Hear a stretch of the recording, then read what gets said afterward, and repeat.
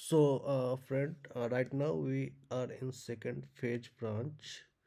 So to create one new branch on git we have to use git branch test.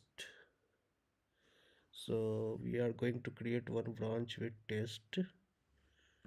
So it is created uh, but we are currently in second phase branch and the test branch is created but it is on our local so if we uh, if you list down the uh, branches remote branches uh, by running the command git branch r it will it will not going to show the test branch because um, uh, this is on local actually.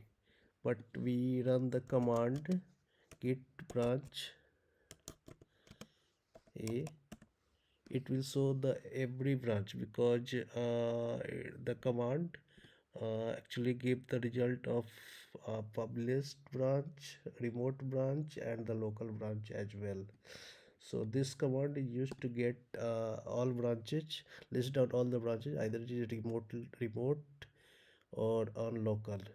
And this command will only give us the remote branch so uh, right now we are in second phase branch but when we uh, let's move on the test branch. So we have to run the command git switch test. So oh, sorry uh, spelling is wrong. Git switch test so you can see the branches. Here we are in test branch. So let's uh, publish this branch first by typing first commit.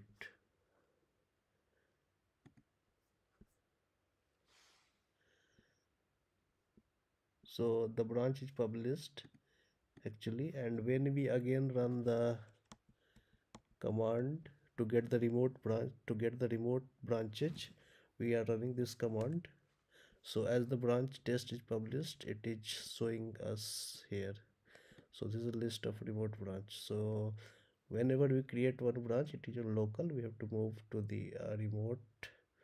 Then we can uh, get by all the remote branch by running this command. Okay so thanks. Thanks for watching